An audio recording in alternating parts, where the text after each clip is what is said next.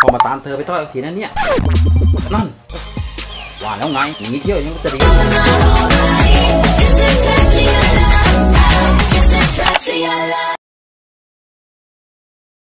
นี่เธอเธอพอมาตามเธอไปทอดกระถินนะเนี่ยแหมเธอหายไปไหนไกลเรื่องพิธีแล้วต้องไปเข้าห้องน้ำล้างหน้าล้างตาล้างตัวเตรียมตัวเข้าพิธีรับบุญใหญ่นะเธอเออเธอฟังไหมเนี่ย สนใจแล้วมั้งสิโธ่ ไม่สนเราเลย เออเธอไม่สนเราเลย อ้าว นั่น วิ่งมีวิ่งอีก เธอจะวิ่งไปถึงไหนเนี่ย ไปกันได้แล้ว Run. เอาไปกันใหญ่แล้ว ไปไกลเรื่อยเลย โอเค กลับมาแล้ว อ้าว Run. ไปอีกแล้วไม่จบ ไม่เลิกเอาร้องอีกแน่ ยังมาเล่นเยอะอีก เดียวด้วยเราล้อตั้งนาเลยนะโอ้ไอ้ลูกโป่งลูกเดียวเนี่ยนะเออเล่นได้ขนาดนี้ลูกไปเกินลูกจริง ๆ จะมีความสุขเกินไปละโอ้ดูชุ่มเททุกครั้งยิ่งเกลือใส่ชุดขาวอยู่นี่แหละรู้ตัวเปล่าเล่นแบบไปคิดชีวิตเลยชีวิตเป็นเริ่มพันกันเลยทีเดียวนี่ยังก็ไปลบแน่บาสุก้ามาเอา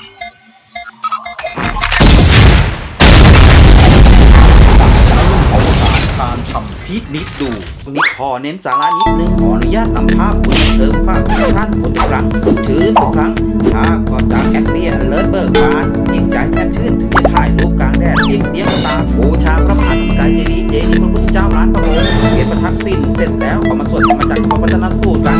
ของเชิญบุญกับหลวงปู่แล้วก็กลับกันจ้าอันนี้ถ่ายรูปหน้าองค์การจิตตาสการะพระมหาเถระที่สิบพรรษาและพระเถระสิบพรรษาถูก ปักแวบมา แค่ภาพต่อไปกับเราเป็นดารา